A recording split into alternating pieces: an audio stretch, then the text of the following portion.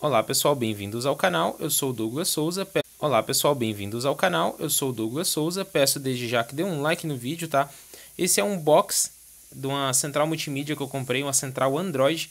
Ela é com 2 GB de RAM e 16 GB interno, tá? Basicamente eu comprei a versão mais simples que tinha dessa marca, da Saita, tá? Porque não, não é uma coisa que eu vou ficar colocando joguinho, essas coisas, então é para usar GPS mesmo o foco. GPS e música sem precisar ficar conectando o celular. Por quê? Porque ela é Android mesmo, ela não é o Android Car, ela é um Android completo. A mesma versão do Android que roda no seu celular tá rodando ali nela, é o 8.0. A marca é da Saita, tá? Se você se for a pronúncia correta, você souber a pronúncia certa, fique à vontade. É... Ela vem bastante, ela vem bem completa. Eu comprei a versão que vem o cabo da Nissan para poder estar tá instalando no meu carro. É, fique atento às medidas, eu vou deixar o link na descrição do vídeo, tá?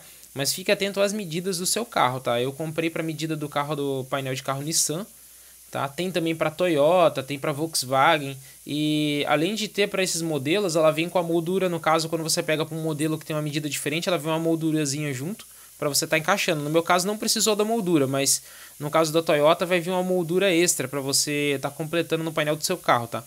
Eu vou deixar os links na descrição é, com algumas questões de, desse negócio do modelo, tá? Essa daí é a central multimídia, tá?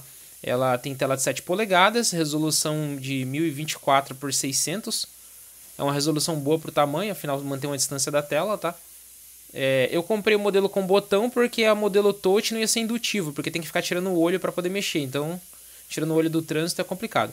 Esse é o cabo da Nissan que eu utilizei, e o outro cabo do lado eu acabei não utilizando, que é esse aqui. Ó. Esse cabo eu nem utilizei ele, porque não foi necessário. Porque veio o cabo da Nissan junto que eu pedi.